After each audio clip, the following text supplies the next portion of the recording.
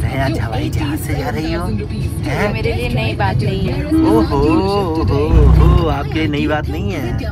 तो आज की तो रानी गाइस जहाज़ से जा रही है देखो कौन से जहाज़ से जा रही है ये रहा वो जहाज़ समुद्री जहाज़ से आएँगे अभी हम लोग हैं इंडिया गेट के पास।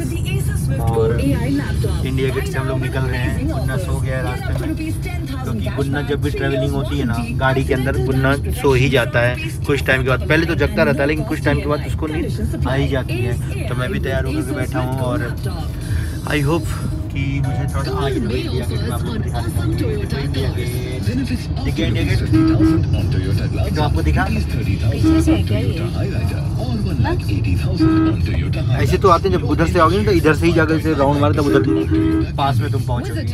ठीक है ना? वो कितने अच्छे अच्छे फाउंटेन लगे हुए हैं। है है।